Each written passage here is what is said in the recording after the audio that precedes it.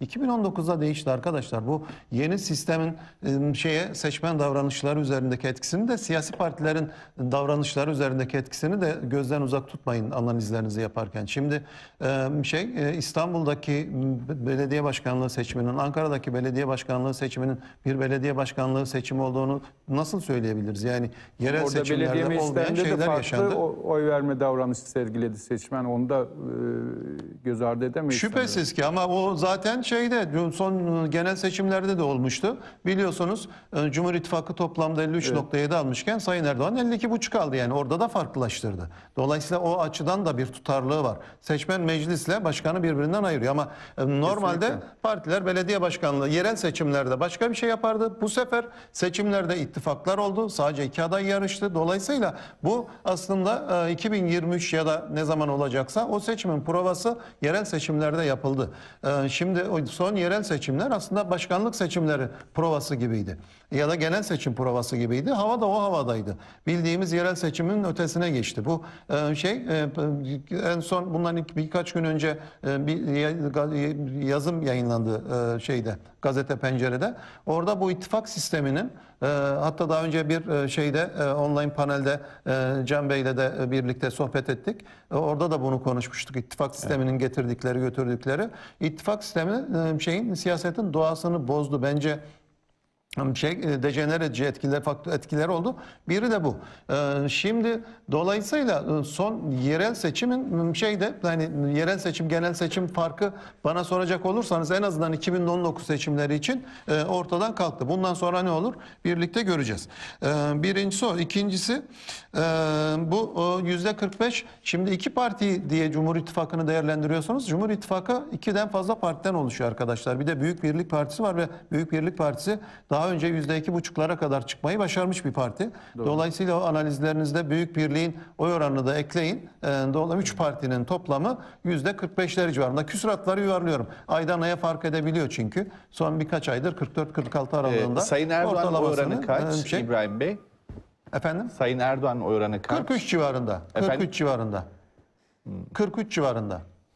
Evet. Oy veririm diyenler yani. Peki hocam. Yarın seçim olsa Erdoğan'a oy veririm diyen. Başka bir adayla mukayese etmiyorum. Dedim ya o farazi bir durum olduğu için. Ha onu da yapmıyor muyuz? Onun yapılması gerekir mi? Yapılması gerekir. Fakat bunu bir seçim sonucu tahmini olarak değerlendirmemek lazım. Bu bir temayül ölçen bir şeydir. Yani seçmenler hangi adaya daha fazla ilgi gösteriyor? Hangi adaya yatkın, hangi adayın yarışabileceği ihtimali var falan bunları gösterir. Yoksa bir... hmm, Seçim sonucu tahmini değil. Yani yarın seçim olsa işte o ismi geçen adaylardan biri o oyu alır, e, Sayın Erdoğan da bu oyu alır falan diyemeyiz. Çünkü aslında bir biz bir genel seçim tahmini ya da Cumhurbaşkanlığı seçimi tahmini yapabilmek için e, gerekli değişkenlerin hiçbirini bilmiyoruz. Yani kaç aday yarışacak bilmiyoruz. Kimler yarışacak bilmiyoruz. İttifaklar nasıl şekillenecek bilmiyoruz. Yani sadece iki ittifak mı yarışacak, üç ittifak mı yarışacak ya da mevcut ittifaklar devam edecek mi? Bir Cumhur İttifakı ya da Millet İttifakı olacak mı? Bu soruların hiçbirinin yanıtını bilmiyoruz. Şimdi bütün bu hiçbir yanıtı bilmediğimiz bir yarışla ilgili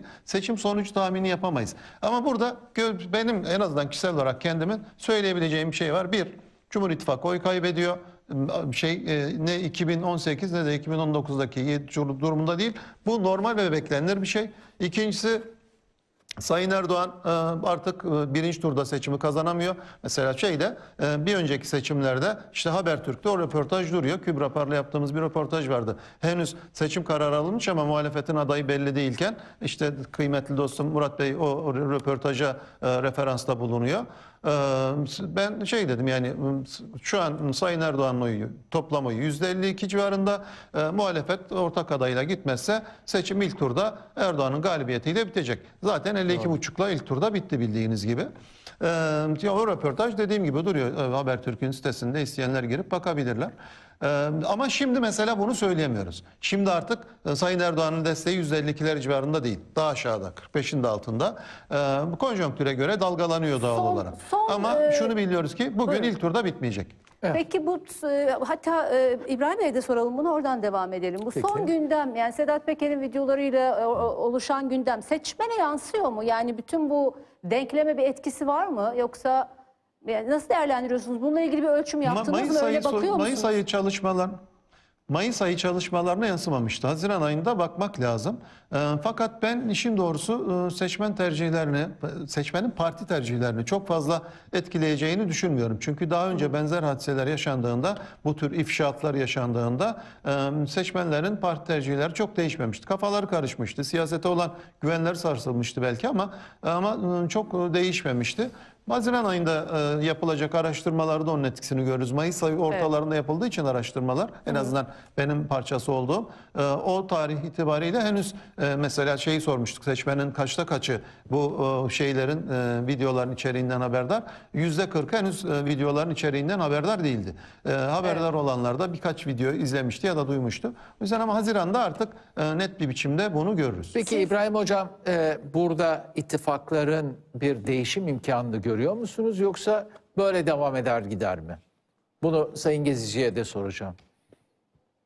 Ben kesin ittifakların değişeceğini düşünüyorum. Bir, bir kere Millet İttifakı'nın büyüme potansiyeli var birincisi. Yani e, şu anki e, halinden, yani şu an dört parti var. Onun biraz daha büyümesini bekliyorum.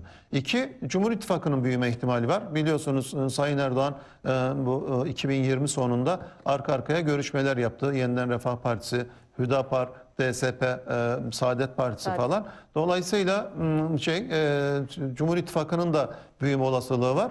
Üç, yeni bir ittifak kurulma olasılığı var. E, Çünkü Sayın Muharrem İnce böyle bir şeyden bahsediyor. Bir üçüncü yoldan bahsediyor. E, Şu an parlamento dışında olan başka partiler de yanına alabilir. Sayın Sarıgül'ün pozisyonu belli değil.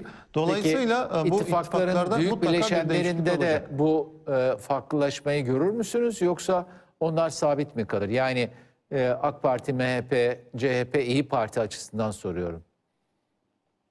Ben, ben o büyük bileşenlerde, büyük ortaklarda bir değişiklik olmasını beklemiyorum. Çünkü e, şeyde siyasi yelpazenin bir yerlerinde konumlandılar ve o konumu değiştirmek o partiler açısından büyük bir risk olur. Ben öyle bir riski üstleneceklerini zannetmiyorum.